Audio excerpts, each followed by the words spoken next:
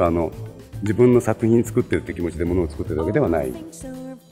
あのなんかそこに来た人がとか使った人が幸せになってくれればいいなとか笑顔になってくれればいいなみたいな。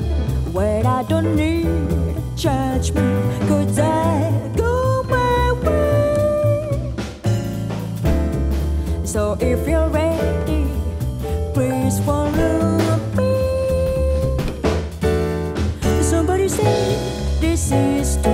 ものづくりはみんなで作る。僕はあのソロで音楽で言うとソロで歌ってる人ではないんですボーカリストではなくて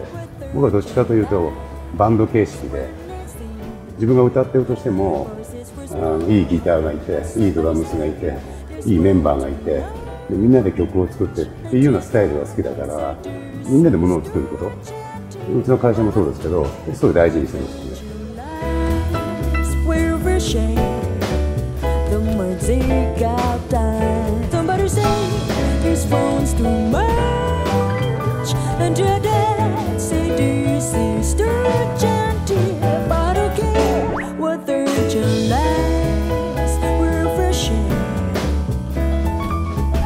ちっちゃい子があの緑の葉っぱ触ってくれて